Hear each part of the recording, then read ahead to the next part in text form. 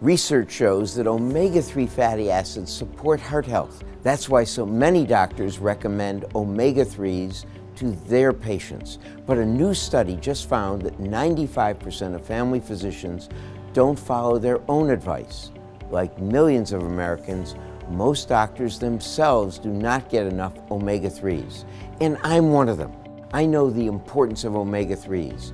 I eat salmon three times a week. I take an omega 3 supplement every day in addition. But recently, I had my omega 3 levels tested, and I was really surprised to find out that I fell below the recommended optimal level. And that's even though I take an omega 3s every day. I was still among the 96% of Americans whose levels are below what's recommended for cardiovascular, brain, and eye health. I'm now taking a higher dose of supplement.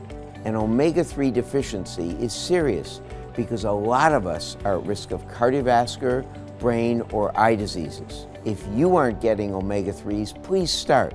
You can visit this website to see how much you need. If you are getting omega-3s, ask your doctor to test you to see if you meet the recommended levels.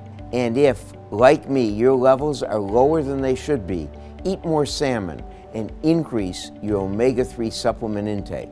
It's important. Doctors talk with your patients to make sure they're getting all the omega 3s they need.